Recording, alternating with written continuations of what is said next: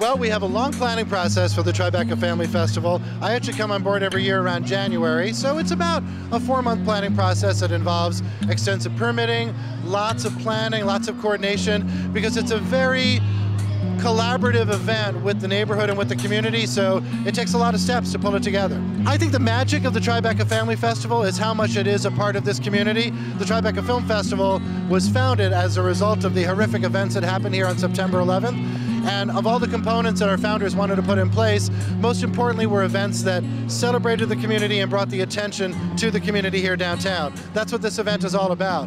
So I think we have such a great, strong, loyal following because we work so closely with the businesses and the schools. We have young children who went from performing here as elementary school students to being in high school bands to being our school reporters. There's been an amazing life cycle of children and families whose children have grown up coming to the festival, especially now that we're in our 10th year.